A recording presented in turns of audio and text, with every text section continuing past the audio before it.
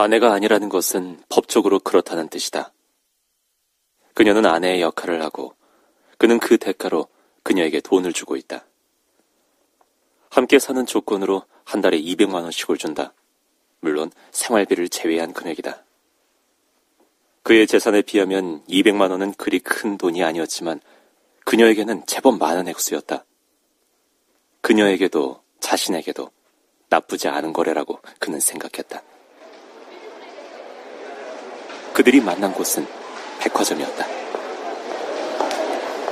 그는 머플러를 교환하려고 백화점에 갔다가 행사장에서 그녀와 마주쳤다.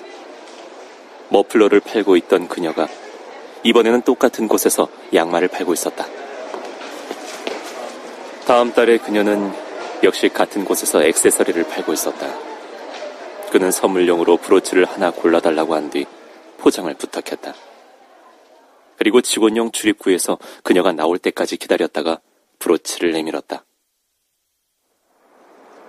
그로부터 두 달쯤 지났을 때, 그러니까 그들이 여섯 번째 데이트를 하던 날, 그는 그녀에게 제안을 했다.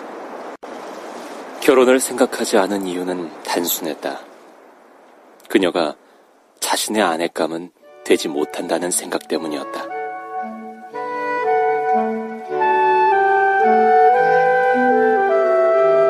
그녀는 중학교밖에 졸업하지 못했고 휴대전화를 팔아서 밥벌이를 근근히 이어나가는 외동아들을 두고 있었다.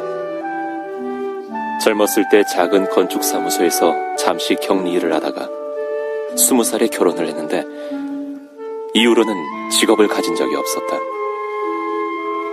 5년 전 남편과 사별한 뒤 백화점에서 일용직으로 일하기 시작했고 월세를 제하고 보험료를 붓고 남은 돈으로 생계를 꾸려갔다. 아들이 가끔 목돈을 요구했기 때문에 저축한 돈은 따로 없었다. 처녀 시절이 지난 뒤에는 극장에서 영화를 본 적이 없었고 치마를 입어도 스타킹 대신 흰 면 양말을 신었다.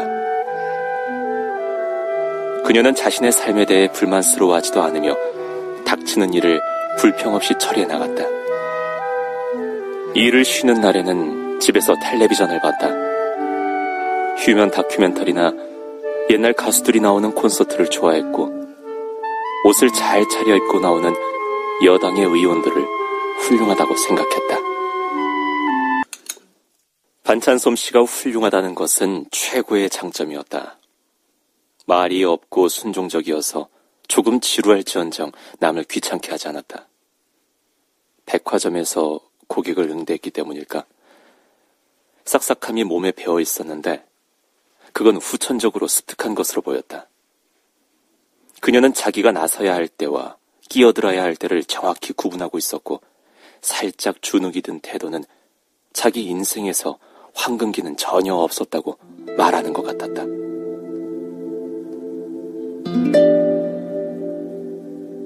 그녀는 마치 태어날 때부터 50대였을 것 같은 표정을 짓고 있었다. 50대처럼 걸었고, 50대처럼 웃었고, 50대처럼 잠자리를 했다. 그녀의 그런 면 때문에 그가 그녀를 선택했을지도 몰랐다. 그리고 그녀의 그런 면 때문에 그가 그녀와 결혼까지는 할 생각이 없었는지도 몰랐다. 같이 사는 데는 나쁠 것이 없었으니까.